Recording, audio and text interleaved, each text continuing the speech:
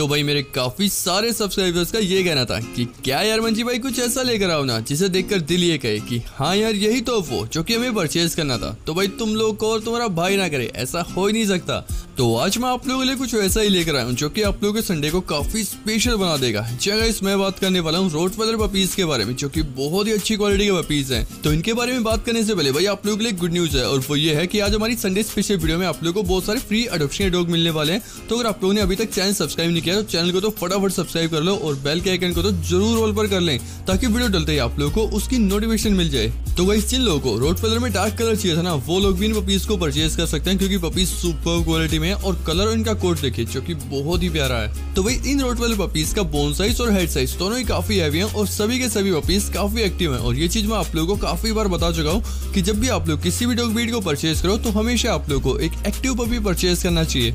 तो भाई काफ़ी लोगों को लगता है कि रोड वेदर बहुत ही अग्रेसिव डॉग ब्रीड है, क्योंकि भाई बहुत से लोगों से सुना भी हुआ है। बट भाई जब आप लोग खुद से एक्सपीरियंस करोगे ना, आप लोगों को तब पता लगेगा, क्योंकि भाई कोई भी डॉग ब्रीड आप लोगों के बस में होती है। अगर आप लोगों ने अच्छे से सोशलाइज और ट्रेन करोगे तो चाहे आप लोग किसी भी डॉग ब्रीड को परचेज कर लो, बस आप लोगों ने टाइम देना होता है अपना एक अच्छा कंपेनियन डॉग बनाने के लिए। तो अगर आप लोग ये सोचते हैं कि हमारे डॉग्स हमारे साथ अच्छा बिहेव करें तो आप लोगों की भी ये रिस्पॉन्सिबिलिटी बनती है कि आप लोग भी उनके लिए एक अच्छे ओनर बने। तो भाई आई एम श्योर पपीज को देखकर आप लोगों का ये मन तो कर गया होगा कि, काश यार ऐसी क्वालिटी हमारे पास होती। बट डोंट वरी यार, अभी भी देर नहीं हुई। आप लोगों के पास अगर पैसे हैं, आप लोग इन्हें अफोर्ड कर सकते हो तो फटाफट डॉग ओनर से कॉन्टेक्ट कर ले।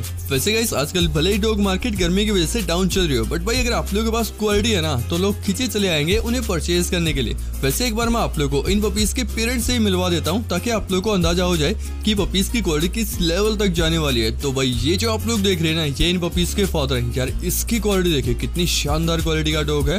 तो काफ़ी हेल्दी होने के साथ साथ काफ़ी डार्क कलर में भी है। तो मोस्टली पपीज फादर के ऊपर गए हैं। और वैसे मदर की बात करें तो ये मदर भी देखिए मदर भी बहुत ही अच्छी क्वालिटी की है। और पपीज जो है ना, ये होम ब्रीडिंग के है। तो आप लोग कभी भी वीडियो कॉल पर देख सकते हैं डायरेक्ट घर जाकर देखते हैं। कोई प्रॉब्लम ही नहीं भाई। बल्कि ये तो पपीज के लिए अच्छा होता है। जब तक पपीज सेल नहीं होते तो मदर फीडिंग पे रहते हैं और ये चीज़ पपीज की ग्रोथ के लिए बहुत ही ज़बरदस्त होती है। बाकी मैं आप लोगों को एक बार पपीज की बाकी की इन्फॉर्मेशन भी प्रोवाइड करा देता हूँ।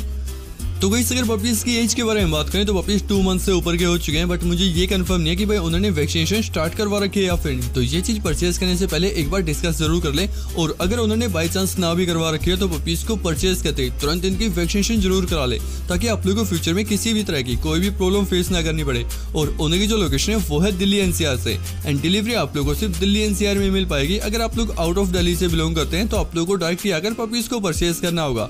एंड फाइनली अगर इन पपीज के प्राइस के बारे में बात करें तो पपीज एक्सीलेंट क्वालिटी में काफ़ी डार्क कलर में और काफ़ी हैवी भी। तो उन्हें जो इनके प्राइस की डिमांड किया मेल की के एटीन थाउज़ेंड पीस अठारह हज़ार रुपए एंड फीमेल की के सिक्सटीन थाउज़ेंड पीस यानी सोलह हज़ार रुपए। लेकिन भाई प्राइस कम हो जाएगा अगर आप लोग सीरियस बाय ऐसा तो। तो आई होप आप लोग को वीडियो पसंद आएगी तो प्लीज़ वीडियो को लाइक करें चैनल को भी सब्सक्राइब करें, ऐसी और प्यारी प्यारी वीडियोस पाने के लिए। तो मिलता हूँ नेक्स्ट वीडियो में so take care and bye